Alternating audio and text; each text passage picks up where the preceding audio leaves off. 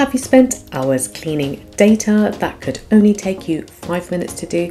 Well, in today's video, we're going to learn how to clean up your data sets using some of the newer functions as well in Excel, such as a text split and wrap rows as well. Now, if you want to follow along, there is a file link in the description below. And without further ado, let's jump into it. When you are presented with data like this on a daily basis, the best way to clean it is we can look at two different formulas. Let's look at the text split.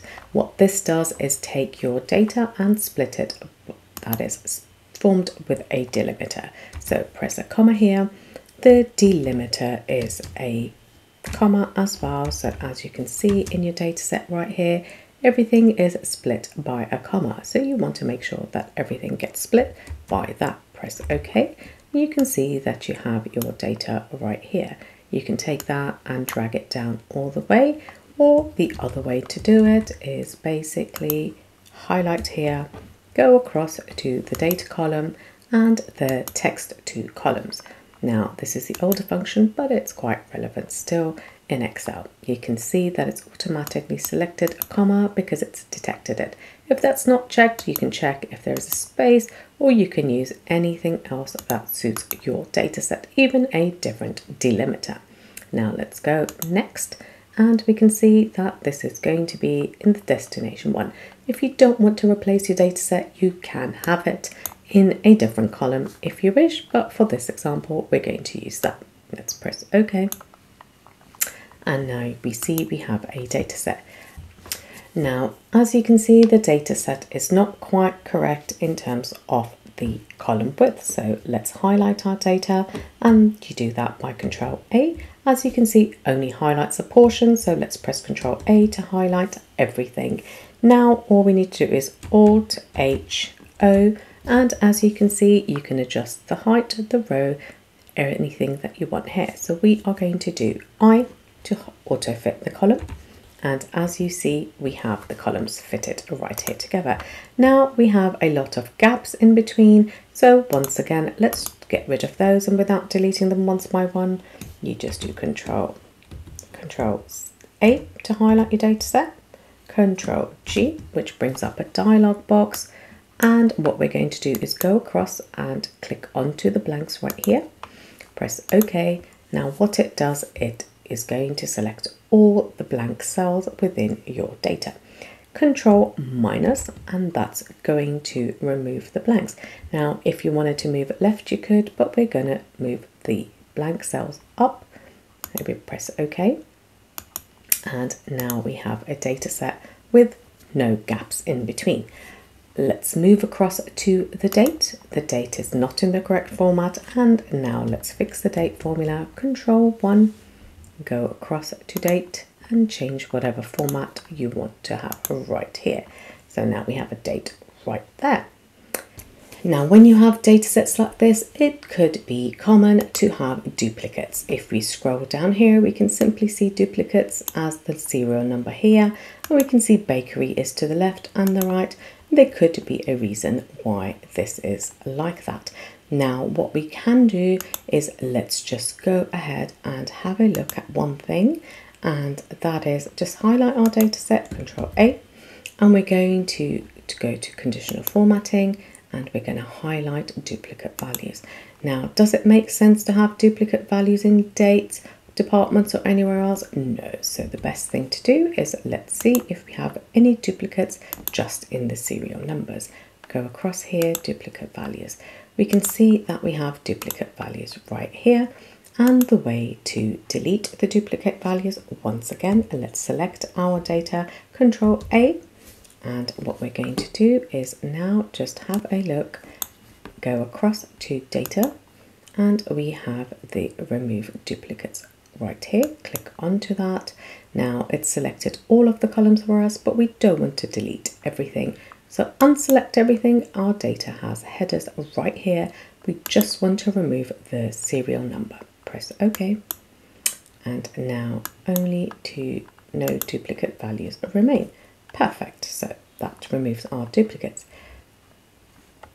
The next thing that we want to do is have a look at the department. Now you can see there are gaps before and after and if you just select that here you can see that we have gaps right here. Now what do we do is we can use a trim function and let's just move that across to here. Let, let's go equals a trim. That's going to remove any of the spaces within a word or a cell without removing the space in between words. So let's press trim. Let's collect on our cell with the data. Press OK. And now if we just double click on this, you'll have everything go down. Now you will notice if you have a look at the fruit and veg here, there are two gaps, two spaces right here, and it has removed only one. So this is a perfect way to remove any unwanted spaces within your data.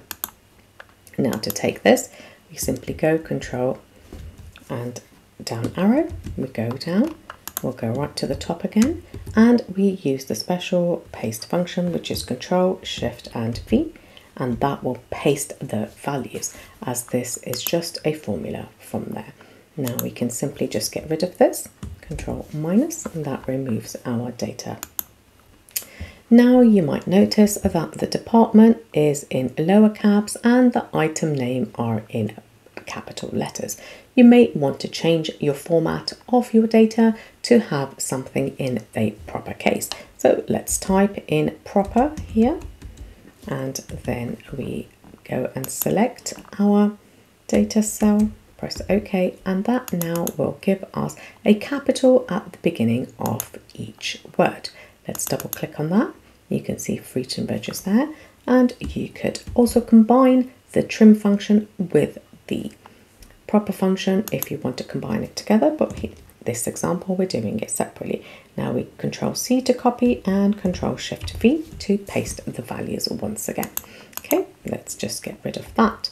Now, the next thing we could do is go across and let's leave the item name as it is perhaps we go over here and we want to change the name of the spelling grey. So we don't want grey to be spelled G-R-E-Y, we want to spell it G-R-A-Y. So the way to do this is highlight your column, Control H to bring up the Find and Replace dialog box. And in this example, what we're going to do is type in G-R-E-Y and we are going to change it to G-R-A-Y. Now watch what happens right here. Let's press replace all and it's replaced 19 greys. There we go. Press close.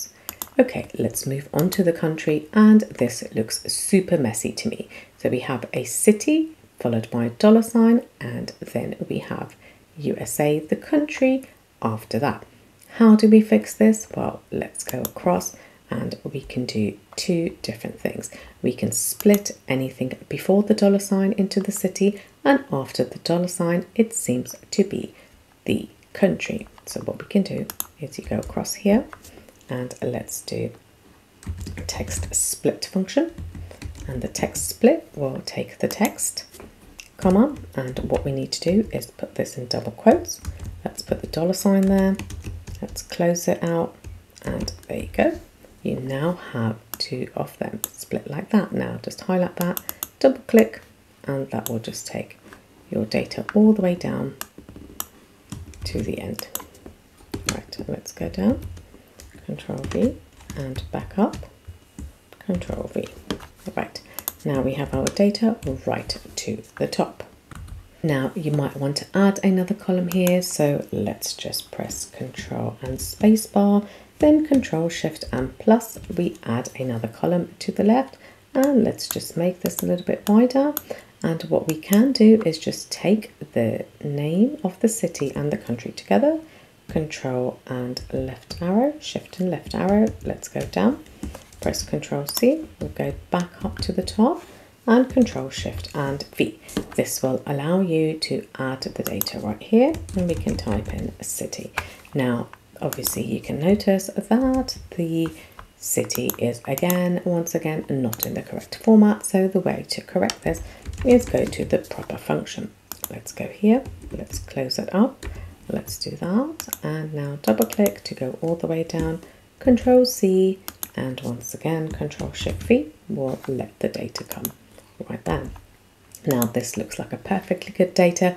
If we want to change the format of the number into dollars, we press Control 1 and we can go to currency. We can go down to any of the dollar signs and press OK. Now you have a dollar sign right there. Any final touches can be done by converting this data into a table. So Control T is the shortcut to make it into a table. Press OK and you can choose the different styles as you want for your data set so it looks much more presentable. Lastly, let's say that we want to have a look at anything that sold over 10 units. Let's go 10 and press OK and there we go we can just clear the formatting from here if we want to as well now you can see everything with over 10 units is highlighted in red Another quick feature we can look at is the wrap rows. Now in this data, the same data, we have it just sorted in a column and it hasn't really gone into any sort of table function. So what we can do is use the wrap rows function. So equals a wrap rows and open bracket. Now, where is the data? So that is from here, control shift down arrow to have everything selected. Now, when we look at the wrap count, how many times do we want it? So we have one, two, three, four, five, six, seven, eight, and then it starts with one again, which should go down. Let's type in eight and let's just close the bracket because that's all we want is just there we go. So now we see that we have all our data here. That's within the set. And you have one two three and then you can sort out your data as well in this way. Thank you for watching this video today. And if you like content like this I would appreciate a like and subscribe. And until next time happy spreadsheeting